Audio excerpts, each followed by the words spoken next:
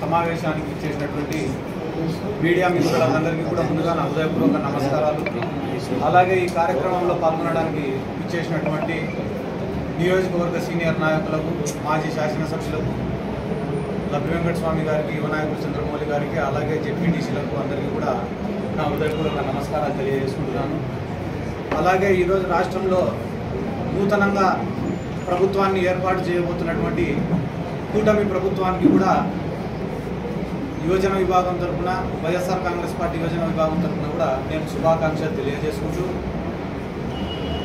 అదే రకంగా ఈరోజు నందికొట్కూరు నియోజకవర్గంలో దాదాపుగా వైఎస్ఆర్ కాంగ్రెస్ పార్టీకి ఎనభై వేల ఓట్లు పడడం జరిగింది.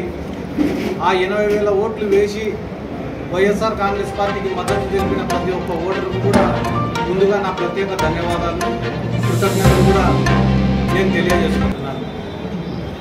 ఒక ముఖ్యమైన విషయం నేను ఈరోజు చెప్పదలుచుకునేది ఏమంటే గాన నేను రాజకీయాల్లోకి వచ్చి దాదాపుగా పదకొండు సంవత్సరాలు అయింది ఈ పదకొండు సంవత్సరాలలో దాదాపుగా ఒక ఐదు సంవత్సరాలు ఏ పార్టీలో లేకుండా వ్యక్తిగతంగా నేను రాజకీయం చేసిన ఆ తర్వాత ఒక ఆరు సంవత్సరాలు వైఎస్ఆర్ కాంగ్రెస్ పార్టీలో ఉండి నేను రాజకీయం చేసిన.